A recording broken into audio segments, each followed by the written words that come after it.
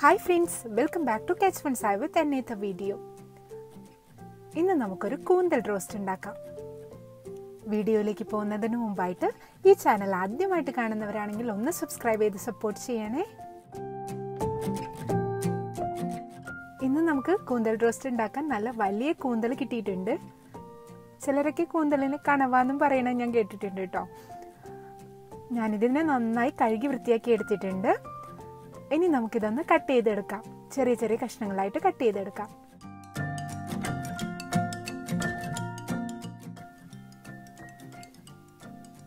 ഇനി നമുക്ക് നമ്മുടെ കറി ഉണ്ടാക്കി തുടങ്ങാം. അതിനുവേണ്ടി നമുക്ക് ആദ്യം ഒരു പേസ്റ്റ് ഉണ്ടാക്കിയെടുക്കണം.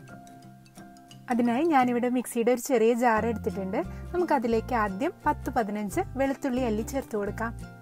ശേഷം നമുക്ക് രണ്ട് കഷ്ണം ഇഞ്ചിയും കൂടി ചേർത്ത് കൊടുക്കാം. കൂടെ തന്നെ നമുക്ക് ഒരു ടീസ്പൂൺ വലിയ ജീരകവും കൂടി ചേർത്ത് കൊടുക്കാം. ഇനി ഒരു ടീസ്പൂൺ കുരുമുളകും കൂടി ചേർത്ത് കൊടുക്കാം. ഇനി ഇതെല്ലാം നമുക്കൊന്ന് നന്നായിട്ട് പേസ്റ്റ് രൂപത്തിൽ അരച്ചെടുക്കാം. കറി ഉണ്ടാക്കാൻ വേണ്ടി ഞാനൊരു കടായി മീഡിയം ഫ്ലെയിമിൽ അടുപ്പത്ത് വെച്ചിട്ടുണ്ട്. നമുക്കിതിലേക്ക് രണ്ട് ടേബിൾ സ്പൂൺ വെളിച്ചെണ്ണ ഒഴിച്ചു കൊടുക്കാം. എണ്ണ നന്നായി ചൂടായി വരുമ്പോൾ നമ്മൾ നേരത്തെ തയ്യാറാക്കിയ പേസ്റ്റ് നമുക്കിതിലേക്ക് ചേർത്ത് കൊടുക്കാം. എന്നിട്ട് നന്നായി ഒന്ന് വഴറ്റിയെടുക്കാം.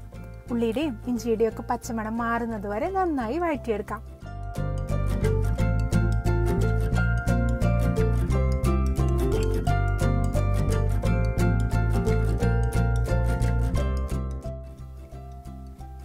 ശേഷം നമുക്കിതിലേക്ക് രണ്ട് തണ്ട് കറിവേപ്പിലയും കൂടി ചേർത്ത് നന്നായി യോജിപ്പിച്ചെടുക്കാം. ഇനി നമുക്കിതിലേക്ക് സവോള ചേർത്ത് കൊടുക്കാം. ഞാനിവിടെ എടുത്തിട്ടുള്ളത് മീഡിയം സൈസുള്ള മൂന്ന് സവോളയാണ് ചെറുതായി അരിഞ്ഞെടുത്തിട്ടുണ്ട്. കൂടെ തന്നെ നമുക്ക് നാല് പച്ചമുളക് നെടുകെ കീറിയതും കൂടി ചേർത്ത് കൊടുക്കാം. എന്നിട്ട് നമുക്കിതിനെ നന്നായി ഒന്ന് വഴറ്റിയെടുക്കാം. ഉള്ളി പെട്ടെന്ന് വഴറ്റിയെടുക്കാൻ വേണ്ടി നമുക്ക് ഒരു ടീസ്പൂൺ ഉപ്പും കൂടി ചേർത്ത് കൊടുക്കാം. ശേഷം നമുക്ക് നന്നായി ഒന്ന് വഴറ്റിയെടുക്കാം. നമ്മുടെ സവാള നല്ല ട്രാൻസ്പെറന്റ് ആയിട്ട് വരുമ്പോൾ നമുക്കിതിലേക്ക് ഏഴെട്ട് ചെറിയ ഉള്ളി ചെറുതായി അരിഞ്ഞതും കൂടി ചേർത്ത് കൊടുക്കാം. ശേഷം നമുക്ക് ഇവയെല്ലാം കൂടി നന്നായി ഒന്ന് വഴറ്റിയെടുക്കാം.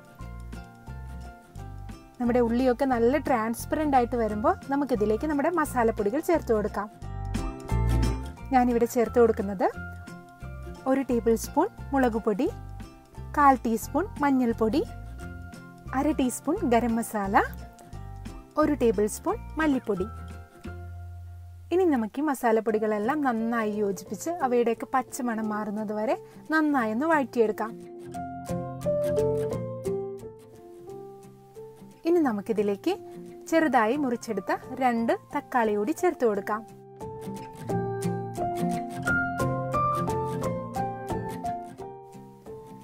ഇനി നമുക്ക് നമ്മുടെ തക്കാളിയൊക്കെ നന്നായിട്ടൊന്ന് വെന്ത് കിട്ടാൻ വേണ്ടി ഒരു അഞ്ച് മിനിറ്റ് അടച്ചു വെച്ച് വേവിക്കാം.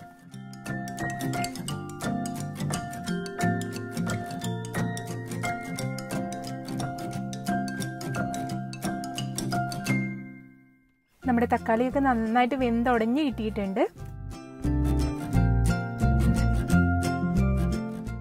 ഇനി ഇതിലേക്ക് നമ്മൾക്ക് നമ്മുടെ കൂന്തൽ ചേർത്ത് കൊടുക്കാം.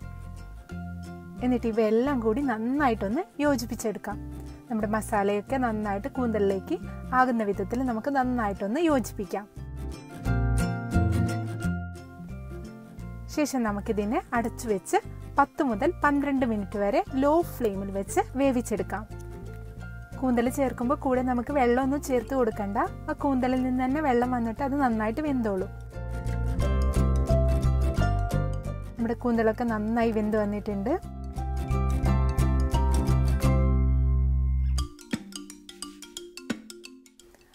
ഇനി നമുക്കിതിലേക്ക് രണ്ട് തണ്ട് കറിവേപ്പിലയും കൂടി ചേർത്ത് കൊടുക്കാം.